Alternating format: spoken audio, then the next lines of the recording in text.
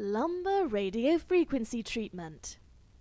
Lumbar radiofrequency treatment, also known as radiofrequency neurotomy or rhizotomy, is a minimally invasive procedure performed for management of facet joint related back pain. Facet joints are little joints situated throughout the spinal column. Pain signals from facet joints are carried by small nerves called the medial branches. Radiofrequency treatment disrupts the pain signals carried by the medial branches.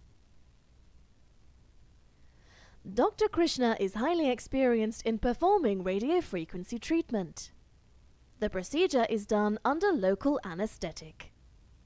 Dr. Krishna will initially numb the skin and deeper tissues with a numbing medicine. He will then use a special X ray machine to guide the radiofrequency needle accurately near the irritated medial branch nerve. A radiofrequency electrode is inserted through the needle and a small electric current is passed to test the position of the needle. Finally, the electrode is heated to stun the nerve and thereby preventing it from transmitting painful signals to the brain. Radiofrequency treatment can take 4 to 6 weeks to work. Pain relief can last between 6 months to 24 months, though this may not always be the case.